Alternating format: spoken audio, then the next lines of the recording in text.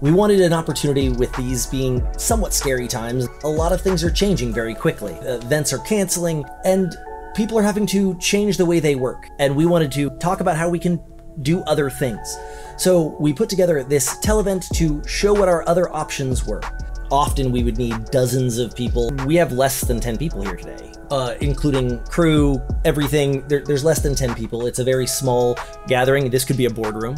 I think the takeaway is that things are changing, but they're always changing, and we can change with it, and we can create designed and produced events as part of that change. Be conscious and forward thinking in what message you want to deliver, what the look is that you want to present to people. You want to look professional. You want to look put together and you want to get across the message that you want. You can't just throw all that out the window when it comes to the fact that it's on the internet. At Glass River Media, I like to say that we're strategic storytellers, and the things that I love about events is that that they are almost the purest form of storytelling.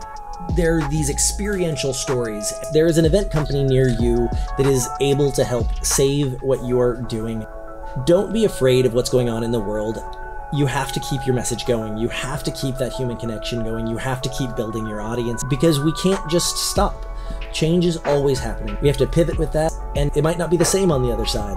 So, we'd love to help you figure out how we can save your event, spread your message through these times. We'd love to uh, answer any questions or set you on the path to success through this uh, this interesting time.